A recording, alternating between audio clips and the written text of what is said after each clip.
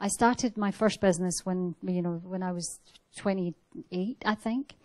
And it was a business about helping people connect and communicate more effectively. So I used to go into ad agencies and help them pitch for business. That was my business idea. You know, it was, it, it's, it's hardly a lapel grabber now, but at the time it was quite an interesting idea to go in and help them pitch using theatrical device, Sandra. So I was like the Sam Mendes to their Kevin Spacey and Annette Bening. I'd go in and say, you hand to him. Oh, you're fabulous. You say that first. I can't hear the message. You're burying the message. Bring the, all that stuff.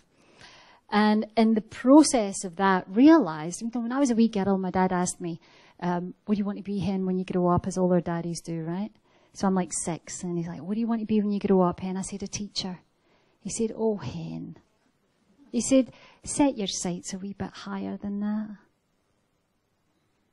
Turns out I was right. And the day I taught my first class, Sandra, that was the moment.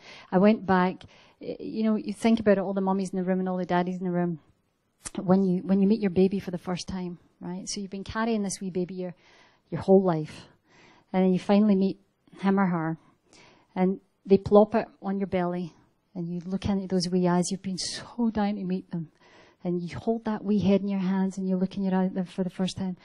Think of what you say to your baby. The first thing you say to your baby. Mine was as unpremeditated as yours, I'm sure.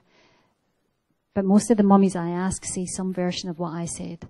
Hello, you right? All the mummies recognize, oh, it's you. And it's not only the welcoming hello, it's you. It's you I was waiting for. And you know when I got into my car after teaching that class that day? I looked in the rearview mirror and that's what I said. I didn't say it out loud because I'm not mad, okay? But there was a recognition. I knew you were coming, I just didn't know when.